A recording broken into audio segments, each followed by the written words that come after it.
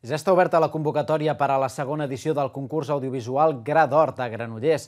A la primera edició hi van participar 13 curtmetratges realitzats per joves d'entre 16 i 35 anys. El concurs de curtmetratges i projectes audiovisuals s'emmarca dins del projecte Joves Creadors, amb l'objectiu de detectar i donar a conèixer nous artistes dins d'aquest àmbit i mostrar les seves obres. Hi poden participar persones, com dèiem, d'entre 16 i 35 anys, residents a Granollers i altres municipis del Vallès Oriental.